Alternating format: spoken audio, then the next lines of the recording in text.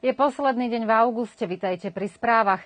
Prezident Srbska Aleksandr Vučić sa dnes stretol s ministrom zahraničia Turecka Mevlutom Čavušoglom a shodli sa, že vzťahy Srbska a Turecka úspešne zveľaďujú na všetkých poliach a medzi prezidentmi existuje dobré priateľstvo. Turecký minister zahraničia podpísal aj memorandum o porozumení medzi rezortnými ministerstvami dvoch krajín. V rámci dvojdňovej návštevy Srbska sa stretol aj s premiérkou Anou Brnabičovou a srbským kolegom Nikolom Selakovičom. Spoločne poukázali na doterajšie výsledky spolupráce a najmä na hodnotu investícií, ktoré tureckí podnikatelia usmerňujú do srbského textilného a automobilového priemyslu, bankárstva, turizmu a podnikateľstva. Otázky v oblasti kultúry šéf tureckej diplomacie prerokoval s rezortnou ministerkou Majou Gojkovičovou a pobudol aj v Belehradskej mešite Bajrakli. V meste Nový Pazar zajtra otvorí generálny konzulát Turecka, ktorý dodatočne posilní vzájomné kultúrne a medziľudské vzťahy so Srbskom. Intenzívnejší politický dialog je príznačný aj pre Srbsko a Dánsko. Prizvukoval to prezident Aleksandr Vučič, ktorý sa dnes stretol aj s dánskym ministrom zahraničia Jepem Kofodom. V rozhovore o situácii v regióne Západného Balkánu tiež poukázali na nevyhnutnosť zachovania pokoja a stability a rozanalizovali aktuálne globálne výzvy. Minister Kofod sa pozitívne zmienil najmä o iniciatíve Open Balkan a o raste srbskej ekonomiky, pričom poukázal na na možnosti prehlbenia spolupráce najmä v oblasti podnikania, kultúry a vzdelávania. Dobrá spolupráca najmä na úrovni parlamentov je príznačná aj pre srbsko-české vzťahy. Svedčia o tom aj pravidelné vzájomné návštevy na najvyššej úrovni. V tejto chvíli sa v Čechách nachádza predseda Národného zhromaždenia Srbska Ivica Dačič, ktorý počas pobytu v tejto priateľskej krajine absolvuje stretnutia s prezidentom Česka Milošom Zemanom, predsedom Senátu Milošom Vystrčilom, premiérom Andrejom Babišom a ministrom zahraničia Jakubom Kulhánekom. Predsednička vlády Srbska Anna Brnabičová a prvý podpredseda vlády a minister školstva Branko Ružič navštevia zajtra novou vybudovanú základnú školu Vera Miščevič v Belegiši a budú prítomní na slávnostnom prijatí prváčikov pri ich vstupe na základoškolské vzdelanie. Výstavbu novej školskej budovy, ktorá má rozlohu 2720 m štvorcových, financovali kancelária pre verejné investície a obec Stará Pazova. Štátny tajomník ministerstva zdravotníctva Mirsa Derlek pripomenul, že tempo očkovania proti koronavírusu je naďalej pomalé aj napriek väčšiemu záujmu o očkovanie treťou dávkou vakcíny v jednotlivých miestach. Celkovo 52% zaočkovaných občanov nezabezpečuje kolektívnu imunitu a preto treba byť pripravený na tvrdý boj najmä proti delta kmeňu koronavírusu. Podľa jeho slov sú zdravotné inštitúcie dostatočne zásobené kyslíkom, liekmi a nemocničnými kapacitami, takže by mali úspešnejšie čeliť situácii, ktorá sa k nám približuje. Pozrieme sa aj na najnovšie údaje ohľadom koronavírusu. Najprv celkovo v Srbsku za posledný deň bolo testovaných 15 529 ľudí, z nich 2981 malo pozitívne výsledky. Keď sa zameriame len na Staropazovskú obec, za posledný deň bolo zaznamenaných 15 nových prípadov nakazenia. Dozvedá sa RTV Stará Pazova na základe údajov z Ústavu verejného zdravia Sriemska Mitrovica. Aktuálne je v celej Staropazovskej obci 141 aktívnych pacientov pacientov. Pred COVID ambulanciou sú opäť dlhšie rady čakajúcich. Nárast novonakazených podnietil staropazovčanom k tomu, aby sa dali zaočkovať, preto aj pred strediskom prevencie, kde sa realizuje očkovanie, sú viditeľné dlhšie rady. Momentálne sú k dispozícii vakcíny Sinopharm, Sputnik V a Pfizer. Prebieha aj očkovanie treťou dávkou. Od 5. septembra počas bielej časti dňa sa budú vykonávať práce na štátnej ceste 1. A radu číslo 1 v časti mýtnej stanice Stará Pazovanové Bánovce v smere z Nového sadu na Belehrad. Práce sa budú vykonávať v odstavnom a pravom jazdnom pruhu. Práce budú postupovať po 2 km denne a jazda aut bude prebiehať len v ľavom jazdnom pruhu. Práce budú riadne označené znakmi aj signalizáciou.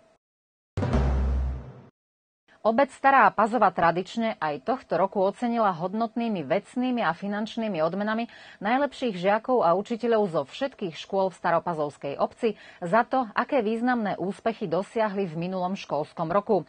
Dary od lokálnej samozprávy získalo okolo 200 žiakov a 60 učiteľov a podujatie sa konalo dnes do obeda v divadelnej sále v Starej Pazove. V minulom školskom roku bolo v našej obci 15 žiakov generácie, 60 nositeľov Vukovho diplomu, 18 žiakov odmenených na medzinárodných súťažiach, 28 žiakov, ktorí získali dobré umiestnenie na štátnych súťažiach, 40 žiakov úspešných na medziobecných súťažiach a 38 žiakov na skupinových súťažiach. Obec Stará Pazova odmenila aj 15 učiteľov a vychovávateľov a 45 mentorov najlepších žiakov. Podľa návrhu ak aktívu riaditeľov za najlepšieho riaditeľa školy v Staropazovskej obci bol vyhlásený Janko Havran, riaditeľ základnej školy hrdinu Janka Čmelíka. Odmeny odovzdávala Nataša Mičičová, predsednička zhromaždenia obce Stará Pazova, Nataša Milašová, asistentka predsedu obce a aj sám predseda obce Ďorde Radinovič. Ostaneme ešte pri téme školstva. Dnes je posledný prázdninový deň a zajtra už školákom odzvoní školský zvonec. Ako bude vyzerať prvý deň v slovenskej základnej škole, o tom viac povie Janko Havran, riaditeľ základnej školy hrdinu Janka Čmelíka, ktorý bol dnes, ako sme už spomínali, slávnostne vyhlásený za najlepšieho riaditeľa školy v Staropazovskej obci. 1. septembra tradične e, o 8 hodine ráno začnú, začnú nám žiaci prvé, prídu nám žiaci prvého cyklusu do školy, vtedy prídu aj prváci. Najprv ich všetkých e, pozdravím na školskom dvore, ak nám dovolí počasí a potom asi sa presunieme do jedálni s prvákmi, s ich rodičmi, aby sme aj ich privítali a aby ich potom ich triedne učiteľky e, odviedli do svojich tried. To je čo sa týka toho. A čo sa týka odmiena, áno, Staropazovská obec už niekoľko rokov zabezpečila učebnice pre všetkých žiakov prvého ročníka. Tie učebnice sa už nachádzajú v samých triedách, e, kde ich e, zamestnanci školy e, roztriedia, aj prichystajú, aby ich ako darček dostal, dočkal, dočkal na školskej lavici. Čo sa týka samej Mačici Slovenskej v Srbsku, 26. sa mi zdá, že sme boli v samej Mačici, kde sme preberali e, učebné prostriedky či pomôcky. To je táška, e, perečník, zošity pre žiakov prvého ročníka v slovenských triedách, takže aj tie darčeky sú u nás v škole.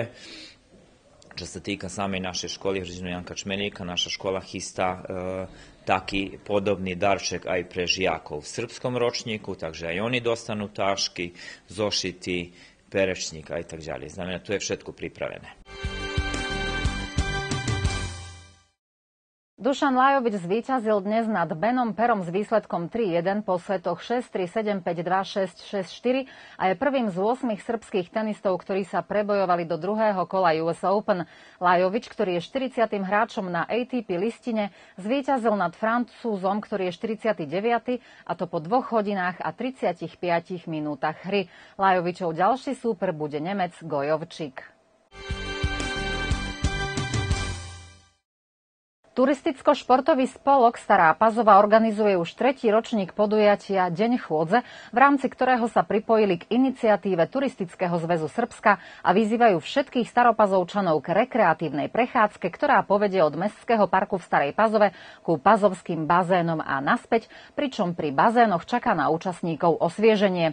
Cieľom je vyzdvihnúť blahodárny význam prechádzok, ktorý pozitívne pôsobí aj na fyzické, aj na psychické zdravie ľudí a podnietiť ľudí ľudí k zdravšiemu životnému štýlu.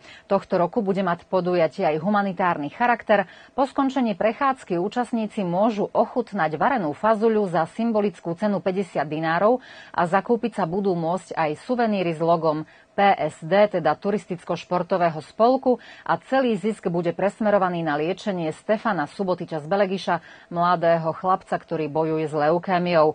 Podujatie podporuje Ministerstvo školstva a Inštitút verejného zdravia Srbska doktor Milan Jovanovič Batut.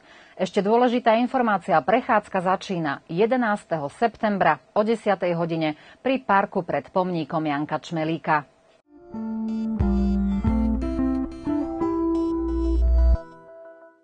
Stredu polooblačno s tým, že bude prevaha oblačných intervalov, slnečných lúčov pomenej. Teplomer ukáže od minimálnych 11 po maximálnych 20 stupňov.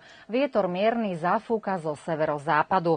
A na záver ešte pohľad do meninového kalendára. Dnes oslavujú sviatok mena Tichomír a Nora, zajtra Drahoslava.